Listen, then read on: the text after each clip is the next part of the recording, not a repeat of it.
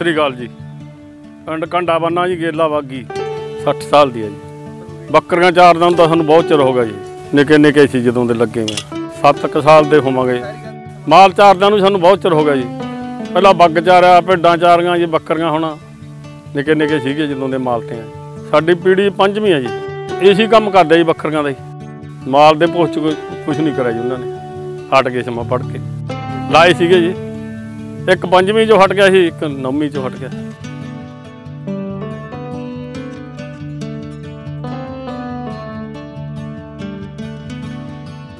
ਇਹੀ ਕੁਛ ਹੈ ਜੀ, ਪਹਿਲਾਂ ਤੋਂ ਹੀ। ਪਜਾਮਾ ਪਾਇਆ ਨਹੀਂ।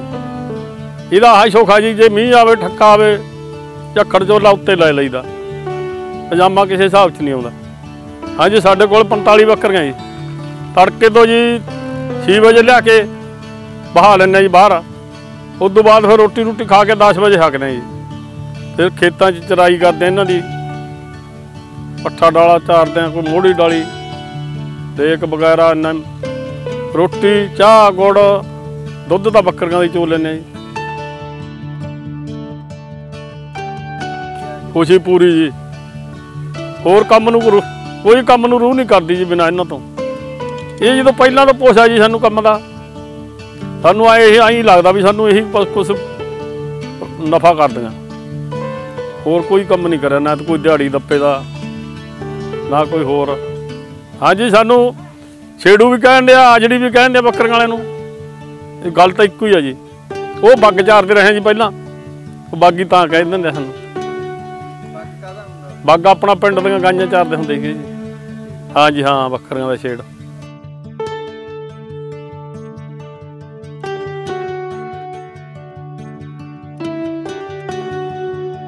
ਪੰਜਾਹ ਕੁ ਰੁਪਏ ਬੱਕਰੀ ਦਿੰਦੇ ਆ ਜੀ ਰੋਜ਼ ਦੇ, ਇੱਕ ਬੱਕਰੀ, ਦੁੱਧ ਵਾਲੀ ਹੈ ਜਿਹੜੀ। ਤੇ ਹੋਰ ਮੇਵਣਾ ਨੂੰ ਜੇ ਮੇਵਣੇ ਨੂੰ ਚੁਕਾਈ ਜਾਵਾਂਗੇ, ਉਹ ਦਿੰਦਾ ਨਹੀਂ 50 ਰੁਪਏ ਰੋਜ਼ ਵੱਧਦਾ ਨਹੀਂ ਮੇਵਣਾ। ਬੱਕਰੀ ਜੇ ਜੇ ਬੱਚਾ ਵੇਚ ਲਾਂਗੇ 50 ਰੁਪਏ ਬਣਾਈ ਜਾਂਦੀ ਹੈ ਦੁੱਧ ਪਾਉਨੇ ਡੈਰੀ 'ਚ। ਗਾਈਆਂ ਦੇ ਹਿਸਾਬ 'ਚ ਹੀ ਰੱਖਦੇ ਜੀ। ਮੱਝ ਦਾ ਦੁੱਧ ਮਹਿੰਗਾ ਲੱਗਦਾ। ਇਹ 25 26 ਰੁਪਏ ਰੱਖਦੇ ਆ ਜੀ। ਮਹਿੰਗਾ ਤਾਂ ਹੈਗਾ ਜੀ, ਆਪਾਂ ਨਹੀਂ ਕਿਸੇ ਤੋਂ ਕੁਝ ਲੈਂਦੇ। ਆਪਣਾ ਦੁੱਧ ਮੁਫਤ ਦਿੰਦਾ ਜਾਂਦਾਗਾ ਛਿੱਲਾਂ ਵਾਲੇ ਨੂੰ, ਡੇਂਗੂ ਬੁਖਾਰ ਵਾਲੇ ਨੂੰ ਆ ਬੁੜੀਆਂ ਦੇ ਬੱਚੇ ਹੁੰਦੇ ਆ ਉਹਨਾਂ ਨੂੰ ਪੱਗ ਤੇ ਪੈਸਾ ਦਿੰਦਾ।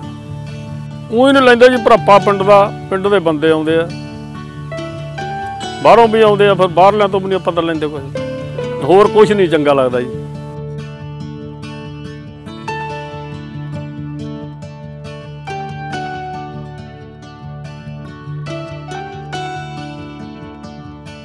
ਬਾਹਲੀ ਦੂਰ ਨਹੀਂ ਜਾਂਦੇ ਜੀ, ਆਪਣੇ ਨੇੜੇ ਨੇੜੇ ਪਿੰਡਾਂ ਦੀ, ਜਿਵੇਂ ਆਹ ਢਵਾਲੀ ਆ, ਉਧਰ ਸੰਨਾ ਭਾਈ ਰੂਪਾ, ਅੱਧੇ ਜਿਹੇ 'ਚ ਰਹੀਦਾ।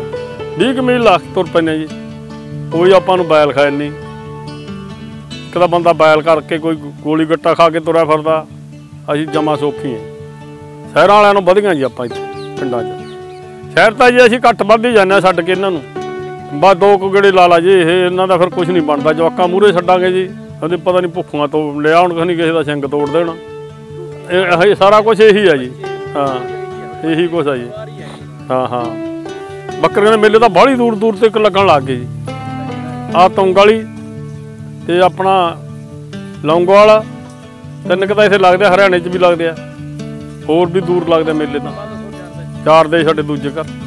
ਠੀਕ ਉਹਨਾਂ ਕੋਲੇ ਇਹੀ ਕੰਮ ਕਰਦੇ ਆ ਜੀ। ਘਰ ਅਸੀਂ ਚਾਰ ਕਰਦੇ ਆ ਜੀ ਇਹ ਕੰਮ। ਦੂਜੇ ਦਿਹਾੜੀ ਰੱਪਾ ਕਰੀ ਜਾਂਦੇ ਕਰਦੇ ਜੀ ਕਰਦੇ ਆ, ਉਹ ਤਾਂ ਫੌਜ ਉਹਨੂੰ ਕਿਹਾ ਸੀ ਫੌਜ ਚ ਭਰਤੀ ਹੋਣ ਨੂੰ ਬਹੁਤ ਕਰਦਾ ਮੁੰਡੇ ਦਾ। ਉਧਰ ਨਹੀਂ ਰੱਖ ਕਰਿਆ ਉਹਨੇ, ਪੜ੍ਹਾਈ ਕਰਨੀ ਕਹਿੰਦਾ ਮਾਲ ਹੀ ਚਾਰਨਾ ਬੱਕਰੀਆਂ ਫਾਇਦੇ ਵਾਲਾ ਹੀ ਹੈ ਜੀ, ਜਿਹਨੇ ਬ- ਸ਼ੌਂਕ ਨਾਲ ਪਸ਼ੂ ਸਾਂਭਣੇ ਆ, ਇਹਨਾਂ 'ਚ ਕੋਈ ਘਾਟਾ ਨਹੀਂ ਜੀ, ਜਿਹੜੇ ਆਪਣੇ ਪੰਜਾਬ 'ਚ ਫਾਰਮ ਖੁੱਲੇ ਆ, ਕੋਈ ਉਹਨਾਂ ਦਾ ਸਾਡੀ ਅਸਰ ਨਹੀਂ ਕੋਈ ਮਾਲਾਂ ਵਾਲਿਆਂ ਦੇ ਵੀ, ਉਹ ਆਪੋ ਆਪਣਾ ਧੰਦਾ ਕਰੀ ਜਾਂਦੇ ਲੋਕ। ਨਹੀਂ ਨਹੀਂ, ਕੋਈ ਫ਼ਰਕ ਨਹੀਂ ਜੀ ਦੁੱਧ ਦਾ। ਨਾ ਨਾ। ਨਹੀਂ ਨਹੀਂ, ਉਹੋ ਜਿਹਾ ਕੁਝ ਪਾਈ ਜਾਂਦੇ, ਉਹ ਵੀ ਘਰੇ ਨੀਰਾ ਨੂਰਾ ਪਾਉਂਦੇ ਆ। ਗੱਲ ਕਰਾਂ, ਇੰਨੀ ਕੁ ਘਾਟਾ ਮਾਲ ਆ, ਉਹਨਾਂ ਨੂੰ ਬੰਦਾ ਨਹੀਂ ਮਿਲਦਾ ਚਾਰਨ ਵਾਲਾ ਹਾਂਜੀ, ਆਪਣਾ ਮੋਹ ਪ੍ਰੇਮ ਆ ਜੀ ਆਪਣੇ ਪਿੰਡਾਂ 'ਚ। ਚਾਰ ਪੰਜ ਪਿੰਡਾਂ ਦੀ ਹੱਦ 'ਚ ਜਾਂਦੇ ਹਾਂ ਕੋਈ ਨਹੀਂ ਸਾਨੂੰ ਬੋਲਦਾ, ਨਾ ਆਪਣੇ ਪਿੰਡਾਂ ਦਾ ਕੋਈ। ਵਧੀਆ ਆਪਾਂ ਤੇ ਉਹ ਕਰਦੇ ਆ ਜੀ ਆਪਣਾ। ਨਹੀਂ ਜੀ ਕੁਝ ਨਹੀਂ ਕਹਿੰਦੇ ਆਪਾਂ ਨੂੰ, ਕੋਈ ਜੜ, ਕਿਸੇ ਦਾ ਹੋ ਜੇ। ਤਾਂ ਨਹੀਂ ਆਪਾਂ ਨੂੰ ਕਹਿੰਦੇ, ਮਾੜਾ ਮੋਟਾ ਜੇ ਹੋ ਵੀ ਜਾਊ ਕਿਸੇ ਦਾ।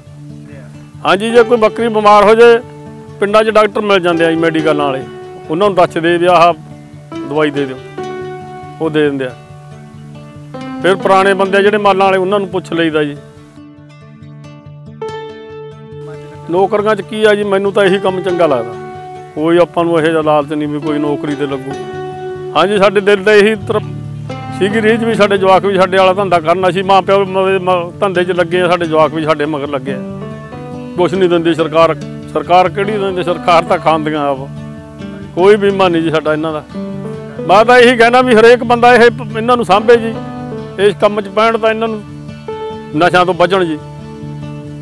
ਆ ਹੁਣ ਵਾਲੀ ਮੰਡੀਰ, ਜਿਹੜੀ ਨਸ਼ੇ ਖਾਂਦੀ ਆ, ਗੋਲ ਗੱਟਾ ਖਾਂਦੇ ਆ, ਬੱਕਰੀ ਦੇ ਕੰਮ 'ਚ ਪੈਣ ਤਾਂ ਉਹਨਾਂ ਨੂੰ ਨਸ਼ਿਆਂ ਤੋਂ ਰੁਕ ਜਾਣ ਜੀ।